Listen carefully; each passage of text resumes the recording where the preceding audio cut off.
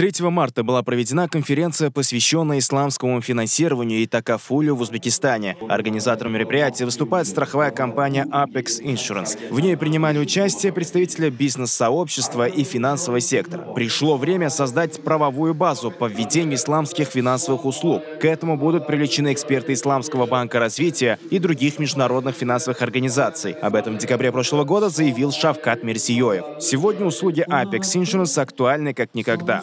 Целью конференции «Исламское финансирование и такафуль в Узбекистане» является обмен практическим опытом и укрепление партнерских отношений между участниками, которое будет способствовать развитию индустрии исламских финансовых услуг, в частности, продвижению инструментов и продуктов исламского страхования. Участники мероприятия, в свою очередь, получили возможность проконсультироваться со специалистами по вопросам, связанным с правовыми и организационными механизмами предоставления исламских финансовых услуг, особенностями их реализации в рамках законодательства страны.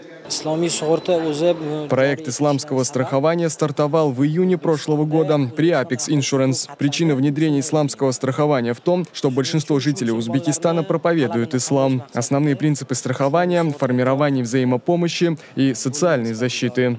На конференцию также были приглашены представители соответствующих министерств и агентств, международных финансовых институтов, дипломатического корпуса и бизнес-сообщества, а также руководители ведущих банков, страховых, лизинговых и инвестиционных компаний.